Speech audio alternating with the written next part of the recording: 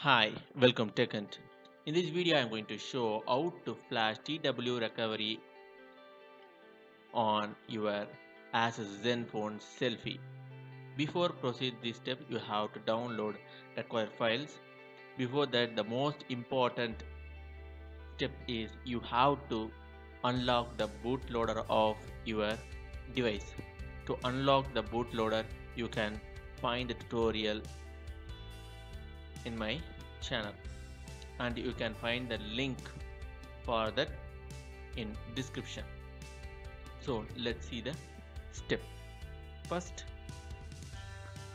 go to the twrp recovery file and extract it.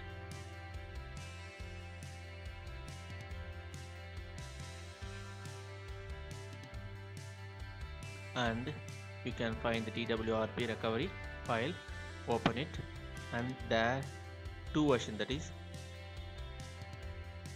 cn version and ww version. You can choose based on your os that is ww or cn mine is ww version. I'm going to open it. Here you can see a recovery image file that is recovery z d551kl now i'm going to rename it like recovery.img now you have to press shift and right click here. Shift right click and here you can see open command window here. Click on it. Now you can see the cmd command window here. Now before proceed this you need to connect your device. And you should enable usb debugging option in developer option. To enable developer option or to view developer option you have to press five times on your built number. After that you can find developer option in your settings. Now now connect your device. After that you will check your device in device manager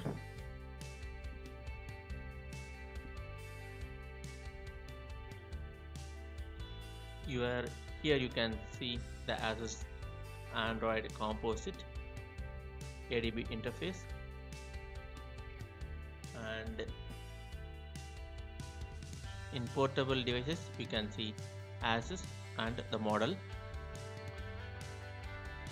Now close it.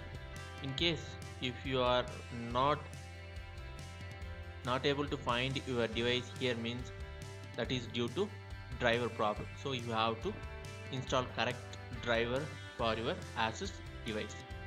Now now close it. Now follow this step. First type adb devices. Adb space de devices. Click enter now here you can see the device. In case if you are having driver problem means you won't able to see your device here. This is the device. Now type adb or reboot. Bootloader bo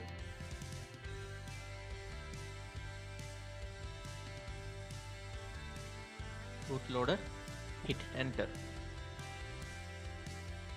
Now your device will start in fast boot mode. Now type fast boot space flash space recovery recovery space recovery recovery dot img now enter. Now it start to flash the recovery. Now type fast boot OEM space reboot hyphen recovery. Now press enter. Now your device will start in TWRP recovery. That's it. Now you are successfully flashed TWRP recovery on your Asus Zenfone selfie. That's it thanks for watching this video. For more tips and tricks subscribe Techhunt YouTube channel. Thank you